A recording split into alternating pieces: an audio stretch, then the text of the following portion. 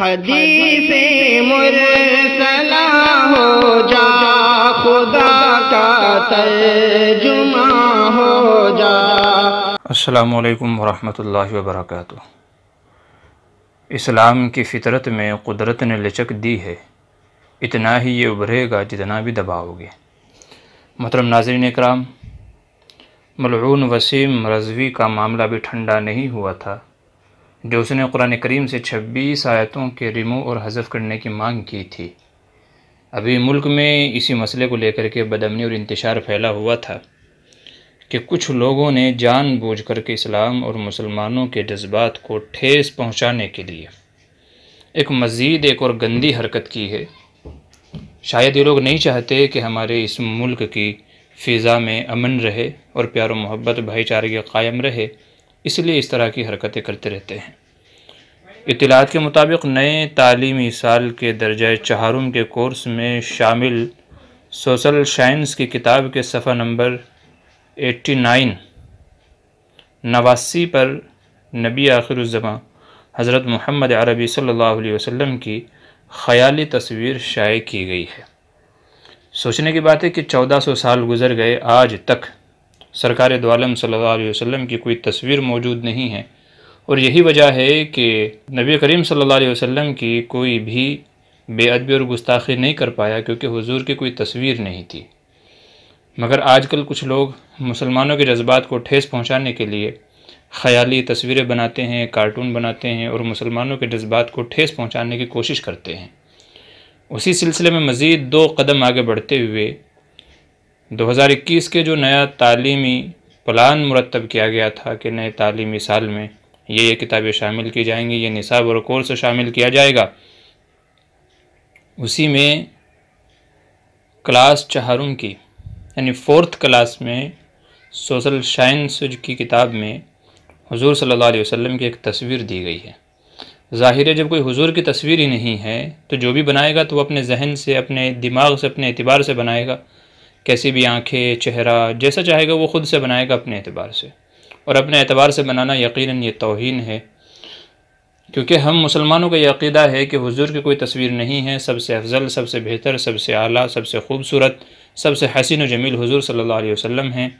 कैसे हैं, कैसे दिखते थे, इसका कोई तस्वुर हमारे यहाँ नहीं है। बस हमारा ये ईमान बिलगैब है, ईमानी अकीदा है।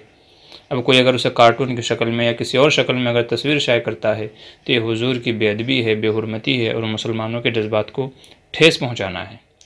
चुनानचे इसी के ऊपर एक्शन लेते हुए मादर इल्म दारूम देवबंद के महतम मुफ्तबुलकासिम साहब नुमानी ने अपनी शदीद नाराज़गी का इजहार किया और अमन व अमान को बरकरार रखने की अपील करते हुए कहा कि तालीमी इदारों पर इस सिलसिले में ज़ोर दिया जाए और क़ानूनी तरीके से दबाव बनाया जाए कि वो इस किताब को निसाब में शामिल ना करें। बल्कि हुकूमत से ये हमारी मांग है और हम ये अपील करते हैं, और सब लोग जहाँ तक मेरी आवाज़ पहुँच रही है, उनको भी चाहिए कि वो अपने लेवल पर, वो जिस फ़ील्ड में भी हों, जिस एतबार से भी हों, जिस भी सोशल एक्टिविटी से जुड़े हुए हों तो उनको चाहिए कि वो हुकूमत से मांग करे कि जो इसका पब्लिशर है, जिसने छापी है, और वो मुसनफ़ जिसने इस किताब को लिखा है, लेखक, राइटर हैं, उनके ख़िलाफ़ कानूनी कार्रवाई होनी चाहिए। और इस किताब को बैन किया जाना चाहिए, इस किताब के ऊपर पाबंदी लगानी चाहिए। मुफ्तबिलकासम साहब नुमानी ने मज़ीद कहा है कि कुछ लोग जान बूझ कर के अनजान बनते हुए इस तरह के काम करते हैं, ताकि मुल्क और माशरे को इंतशार में मुबतला कर दें। और उन्होंने ये भी कहा है कि किताब को फ़ौर वापस लिया जाना चाहिए और इसको हमेशा के लिए बैन होना चाहिए और हुकूमत और इंतज़ामिया को इस बात का नोटिस लेना चाहिए कि इस तरह की हरकतों के पीछे असल में किसी का मंशा और मकसद क्या होता है। मुल्क को बदमनी की तरफ़ फैलाना इंतशार फैलाना, मुसलमानों के जज्बात को ठेस पहुँचाना। चुनानचे दुनिया में कहीं भी हज़रत मोहम्मद अलैहि वसल्लम की कोई तस्वीर नहीं है, बल्कि पहले ही दिन से इस्लाम में तस्वीर कशी को हराम करार दिया गया है। हमारे यहाँ तस्वीर हलाल नहीं है, बल्कि हराम है। बवक्त ज़रूरत ही मुसलमान तस्वीर का इस्तेमाल करते हैं। क्योंकि हदीस में फरमाया गया इन अशदन्ना से अजाब यमलक़यामतमसवरून के क़्यामत के दिन सबसे ज़्यादा सख्त अजाब तस्वीर बनाने वालों को दिया जाएगा। तो तस्वीर इस्लाम में हराम है, सिर्फ़ ज़रूरत के वक्त उसकी इजाज़त होती है। तो जब हमारे यहाँ जायज़ ही नहीं है तो आज तक मुसलमानों ने नहीं बनाई। गैर लोग बनाते हैं, उसके खाके बनाते हैं। तो एक अतबार से हजूर सल्ला वसम की अहमियत को, आपकी हरमत को ख़त्म करने के लिए, आपकी बेद भी करने के लिए इसलिए हम तमाम मुसलमानों की यह मांग है कि जिस मुसनफ़ ने लिखी, जिस लेखक ने लिखी, उसके ऊपर भी कार्रवाई होनी चाहिए। और जिस निसाब के अंदर, जिस कोर्स के अंदर, जिस कक्षा और दर्जे में इसको शामिल किया गया, जिस क्लास में, उस किताब, उस निसाब से भी इसको हटाना चाहिए और इस किताब को बैन करना चाहिए। तो हम बहसीत मुसलमान होने के अपने कानूनी और आइनी हक़ के साथ ही हुकूमत से मुतालबा करते हैं कि पब्लिशर के ख़िलाफ़ भी कार्रवाई होनी चाहिए मुसनफ़ के ख़िलाफ़ भी कार्रवाई होनी चाहिए और इस किताब के ऊपर बैन होना चाहिए। कहीं ऐसा ना हो कि इसकी वजह से मुसलमानों के जज्बात को ठेस पहुँचे और कहीं ऐसा ना हो कि मुल्क का माहौल ख़राब हो जाएगा। मैं ये समझता हूँ और मैं ये कहता हूँ कि पूरी दुनिया में सबसे मज़लूम इस्लाम है। सबसे मज़लूम इस्लाम है। जिसने जब देखा, जैसे चाहा, इस्लाम के ऊपर जुल्म किया, मुसलमानों के ऊपर जुल्म किया, जिसको जहाँ जैसा भी मौका मिलता है, वो अपना वार कर गुज़रता है। लेकिन इसके बावजूद अल्लाह तबारक व ताली इस्लाम को हमेशा उभारते हैं। उसके अंदर ऐसे फ़ायदे छुपा करके लोगों के सामने ज़ाहिर करते हैं कि लोग दंग और हैरान रह जाते हैं। इन इसके अंदर भी कोई ना कोई खैर ही होगी। लेकिन बहरहाल, चूँकि मुसलमानों के जज्बात को ठेस पहुँचाना है तो इसलिए हम मांग करते हैं कि फ़ौर इसको वापस किया जाना चाहिए। अब मसला यही है, दोगली जो है पॉलिसी, दोगली मीडिया, कि इन लोगों ने ये सब कुछ किया है, इसके ऊपर कुछ नहीं बोलेंगे। और अगर उसी के रिजेक्शन में मुसलमान कुछ कहते हैं, कुछ करते हैं तो फिर उनको मुतशद कहा जाता है, आतंकवाद कहा जाता है ालिम कहा जाता है, और न जाने कैसे कैसे लेवल लगाए जाते हैं। हालाँकि तो सेल्फ़ डिफेंस है, अपनी हिफाजत करना है। लेकिन ऐसा नहीं है। इसे शायरा ने क्या खूब कहा? हम आह भी करते हैं तो हो जाते हैं बदनाम।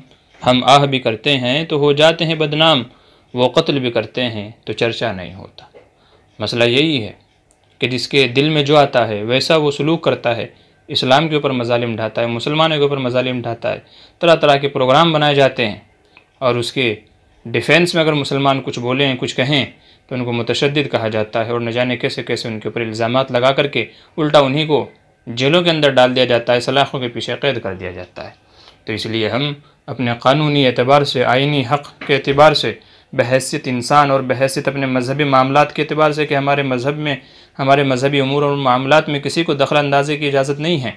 हमारे नबी, हमारे कुरान, हमारी चीज़ों के बारे में किसी को चेंजिंग करने की या उसमें जो है अपनी टांग अड़ाने की ज़रूरत नहीं है तो हम मुतालबा करते हैं कि इस तरह के जो लोग हैं, जो फितना फैलाना चाहते हैं, मुल्क के अमन को ख़राब करना चाहते हैं, आपस में दुश्मनियाँ या फसाद फैलाना चाहते हैं तो ऐसे वो चाहे इदारे हों, वो चाहे शख्सियात हों सब के ऊपर कार्रवाई होनी चाहिए, ऐसी किताबें, ऐसे लिटरेचर सब बंद, सब बैन होने चाहिए, बंद होने चाहिए, ताकि मुल्क की सालमियत में अमन और अमन बरकरार रहे और आपस में प्यार और मोहब्बत और भाईचारे की बनी रहे इसी तरीके से। उम्मीद है कि हमारी ये तजवीज़, हमारी ये अर्ज़ी मंजूर की जाएगी।